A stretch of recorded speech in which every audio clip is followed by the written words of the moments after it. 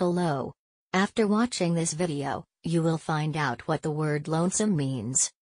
Being the only one, single and isolated from others, the lone doctor in the entire county, a lonesome pine, an only child, the sole heir, the sole example, a solitary instance of cowardice, a solitary speck in the sky.